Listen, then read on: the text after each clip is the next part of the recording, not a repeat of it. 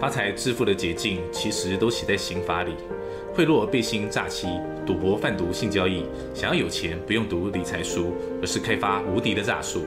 三元爆弹、左手记、飞燕切牌大四喜，胜负师不依靠缥缈虚无的运气，能够决定胜负的力量才是真理。作弊出千是行家的宿命，隐姓埋名化为天上的流星。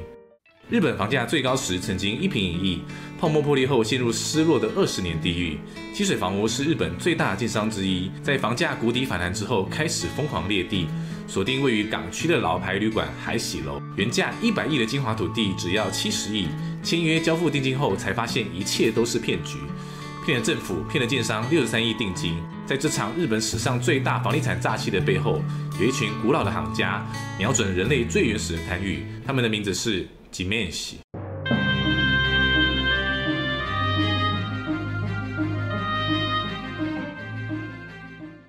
この番組は幸福腐敗兵法ご覧のスポンサーの提供でお送りします。Hello，大家好，我是野餐型 YouTuber 郝伦。你认为买卖房子最重要的是什么呢？是地段、行情、未来有没有捷运，还是要学习如何跟中介砍服务费呢？我的答案是。 交易安全，很多人以为自己很聪明哦，想要来一个富贵险中求，但是常常最后得到却是阴沟里翻船啊！有名的阿帕旅馆被骗过十二点五亿日币，日本航空 JL 加鲁也被骗了三点八四亿。他们这么专业的大企业都被骗过了，我们是不是要更小心呢？积水房屋呢，它是日本最大的建商之一哈，我以前在销售日本房地产的时候就卖过了好几间。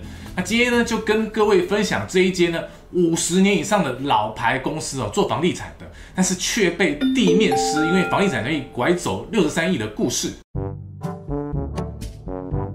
通常有一个师字的职业哈，都是令人尊敬的，譬如说医师、会计师、律师、好伦好师，还有师成功啊，不对，工程师。但是在日本呢，还有很多的特别师哦，譬如说阴阳师翁妙吉，使用阴阳道来解手印，或者是我们之前在日本麻将影片里面提到的胜负师修不起，就是把生命专注在运气以及力量的赌徒。胜负师传说是一部很好看的漫画，一开始新手赌徒追求的是运，但是如果幸运之神对你已读不回的话，就准备等死。因此漫画里所有的赌徒都穷尽一生在追寻力量。而力量呢，就是指出签的技术，从最基本的左手技到最高阶的飞燕切牌法。唯有兼具力量以及运气的人，才是不败的行家啊。那我今天要谈的地面师哦，井面喜，它的历史没有像阴阳师或者是胜负师那么悠久。他们大约是一九九零年代以后才出现。当时日本面临泡沫经济，房价高涨，树大有枯枝，人多有白痴，因此出现一群职业诈骗集团，被称为地面师。他们专门倒卖别人的土地，在民法上其实是可以买卖别人土地的哦。那你伪造证件买卖土地哦，通常有两种结果：一个是假如你骗过地震机关。呢，所有权移转成功，原本的所有权人就莫名其妙没有了自己的土地。那还有第二种情况，就是假如政府识破你这是假证件，所有权就无法移转，土地还是属于原本主人的，但是买方已经付了钱，所以他什么都拿不到。今天积水房屋的情况呢，它就是属于付了钱却没有拿到土地。金水房屋创立于一九六零年，是日本最大建商之一，总公司在大阪，资本额二零二五亿九十一百万元日币。这个积水房屋，呃呃啊，我知道你们在想什么，为什么日本房子都取这么怪？积水房屋会不会积水？那像我以前待的公司名字叫做大金血吹不动产，大金血吹不动产，所以积水房屋卖的房子哦，它不会积水啊。更不会漏水。我在之前的日本不动产影片有提到，日本中介哦没有再给你漏水保固。那之前台湾有车子哦强调方向盘保固六年，如果开一开掉下来可以免费维修。但问题是我我不希望我方向盘开一开哦掉下来，我希望它乖乖的运作。那所以说呢，日本人心中也本来就认为哈房子不应该漏水哦。我我干嘛讲那么远？这块土地的地址呢是东京都品川区西五反田二之二十二之六。木黑川是东京有名的赏樱地点。木黑川从中目黑一路流到五反田。这里有座历史悠久的旅馆，叫做海喜馆 （Umikika）。海喜也可以念成 Kaiki，所以有人称这栋旅馆叫做怪奇馆 （Kaikika）。五反田为什么叫五反田呢？因为以前在墨黑川这里的水田呢，大小大概就是五个反，一个反就是一千公里，所以五个反就是五千平方公里，所以称为五反田。五反田。次は五反田。五反田。お出口は右側です。五反田在大正时代被称为九与欲望之街，是有名的欢乐街。 但是随着都市更新改造，如今的五反田已经是三手线的大战，许多企业以及百货进驻此地。海喜馆的外观似乎还停留在大正时代。随着日本人口的老化，这种老旅馆因为没有人继承而倒闭是常常出现的事情。但是海喜馆的地点非常的好，JR 五反田站步行五分钟。旁边就是木黑川，而且基地面积高达六百平，一平大概就等于一张双人床，所以你可以算算这个基地到底有多大，可以规划出来的产品实在太多了。这么好的土地，我们来调看看它的土地产权登记吧。哇，没有二胎、三胎，也没有抵押权，超级干净。那这种好土地，就和正妹一样，人人抢着要。所以很多建商呢，他就去找土地所有权人哦，也就是资深正妹七十路女老板海老泽左妃子，问他说：“哎。”会割爱这块土地啊，但是都被他已读不回，甚至直接封锁。因为毕竟海喜馆是主产啊，是讨给你为 key 给主，怎么可以说卖就卖呢？而且海喜馆的怪奇氛围啊，吸引了很多拥有灵异体质的人去体验住宿。这间旅馆虽然不赚钱，但老板也不缺钱啊，有钱就是任性，就这样放着吧。你们这些奸商啊，这些要看高啊，如果再来烦我，一律删除加封锁。但是在二零一七年四月二十四日，出现了一个重大的转折。前面提到海喜馆的产权登记哦，一直以来都是干干净净、清清白白哈，就像是一个魔法师处男一样。但是直到二零一七年四月二十四日，在登记簿上面出现了所有权转移请求权假登记。假登记呢，就类似于台湾的预告登记哦，有点像哦订婚的概念哦，昭告天下说这块土地老子要买了。那么谁要买这块土地呢？登记簿上面有两笔假登记，第一笔是 Ikuda Holdings。第二笔呢是积水房屋。二零一七年四月二十四日，积水房屋和 Ikuda Holdings 签立了不动产买卖契约，支付定金十五亿元日币，并且向地震局设定了两个所有权移转预告登记。好，这时候来了，为为什么这个买卖不是从直接哈从那原本的屋主啊所有权海老泽小姐？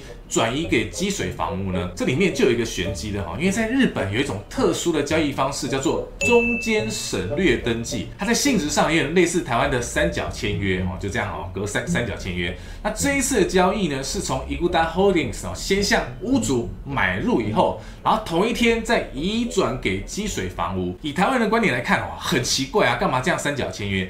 但是在日本是常有的事情，主要是为了节省税费的成本。然后在二零一七年的六月。一号，这笔交易要绝迹的时候，也就是台湾的交屋积水房屋向地震局申请的所有权移转的本登记，也就是说嘛，我们订婚了嘛，之后终于要正式结婚了。这个时候呢，积水房屋支付了四十八亿日币呢给 Ikuda Holdings 哦，所以目前已经给了这个 Ikuda holding 啊，累积六十三亿了。然后在二零一七年六月九日，地震机关驳回了这笔交易的所有权移转的本登记，原因什么呢？伪造文书。二零一七年六月二十四日呢，土地所有权哦，原本的土地所有权那个资深正妹哈海老泽小姐她往生了。二零一七年的七月四日呢，海老泽小姐两位继承人申请了继承所有权的移转登记，于是呢，土地所有权呢，因为继承的原因呢，转移到两位儿子名下。二零一七年七月二十五日呢，原本的预告登记被抹消了，之前的订婚直接被宣告无效，婚没有结成。好，那那个积水房屋哭泣的时候，眼泪就啪啦啪啦掉。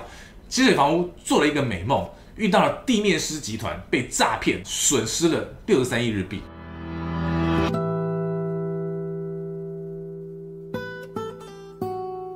这整起地面师的诈欺事件其实疑点重重哦。那股东也在抗议啊，怎么我投资的公司哦，突然被骗这么多钱？所以大阪地方法院有命令积水房屋公布他们内部的调查报告。但是积水房屋呢提出抗告啊，就推推拉拉的哈，就是不想公开哦，最后公开了只有三页，所以事情的真相呢，也许只有积水房屋才能了解。那今天来分享哈两点，就大家觉得哎，怎么会是这样的两个谜团？谜团一呢，就是二零一七年四月二十四日登记簿上面的预告登记是怎么办到的？地面师集团根本就没有证件啊，为什么可以成功的设立预告登记呢？地面师集团的主谋之一小山超，原本在 A B C 房里面担任财务部长，本来打算拿这笔土地去炸贷。小山超拥有丰富的不动产经验，后来透过业界的人脉联络上积水房屋地面师集团里的秋叶红子，找了一位名为羽毛田正美的女士，她拿着伪造的护照到区公所申请了印鉴证明。地面师集团使用最新的 3D 列印技术来伪造护照，连区公所都被骗了。 直接发给地面师真的印鉴证明。非常遺憾なことでございます。 相当精密に偽造された証明書ということであると、自治体側としてはあの見抜くのはなかなか難しい。日本呢是世界上少数没有身份证的国家，因此羽毛田小姐只要有了假护照以及向区公所骗来的印鉴证明的正本哦，以及印鉴章，她在法律上就可以行使很多海老泽小姐的权利。然后在日本，如果你要进行预告登记啊，你只要印鉴证明、印鉴章就好啦。所以积水房屋呢，哎，看到说哇。 这个产权上面哦，已经有我的预告登记了。心想这笔买卖真的是胜券在握啊！市价一百亿的土地，我只花七十亿就买到，真的是买到赚到。可是等到要进行所有权移转的正式登记，就是本登记的时候，除了身份证证明文件、印鉴章，哈，还有印鉴证明呢，还有登记记证，还有登记识别情报，这些文件地面师都伪造不出来，所以地震局呢，在六月九日哈，直接驳回这个所有权移转的登记。积水房屋这个时候才发现自己被骗了。那这么宝贵的土地，然后大大家都想要买，然后他都不卖，居然被诈骗集团设定了预告登记。原本的屋主海老泽小姐都不知道吗？她在睡觉吗？啊，这时候要谈到说，地面师集团最喜欢的犯案标的哦，通常有三个特征。第一个就是没有设定抵押权，第二个就是在金华区哦五亿元以上，第三个就是这个屋主年纪大，而且不要住在附近。那海喜馆的所有权人海老泽佐妃子，他年纪已经大了，七十几岁，身体又不是很好。那时候刚好住进了医院，地面师一看就知道这个是下手的好时机啊，因为屋主已经在医院了嘛。你这个时候冒充海老泽被拆穿的几率就降低了。但是呢，其实这笔交易在进行到一半的时候呢，积水房屋就有收到来自海老泽佐妃子小姐本人的来信，她说我没有要卖这笔土地啊。那这时候积水房屋他也很奇葩哦。他拿着这封信去问诈骗集团地面师，哎，怎么你写信来说你没有要卖？那这时候呢，诈诈骗集团来说有啊，我有要卖啊。那听到了这个装成是海老泽小姐的羽毛田小姐讲的那个啊，基本上我心里就定了，说啊，这个信哈一定是同业写来破坏的。基本上已经听信了地面师的谎言。将真正屋主的来信呢，当成是同业想要破坏这笔交易的恶意中伤。借房屋本来想说一百亿土地，我花七十亿就买到，本来想要来个富贵险中求，最后变成什么？阴沟里翻船了。后来地面师的集团主谋小三超，他改了菲律宾姓，变成卡明斯卡斯超，躲在菲律宾天使城爽爽过日子，每天 bar fight。最后还是连同其他犯罪人一起被逮捕。之后呢，积水房屋的高阶管理阶层也有大幅的变动。那这个日本的地面师集团彻底消失了吗？完全没有。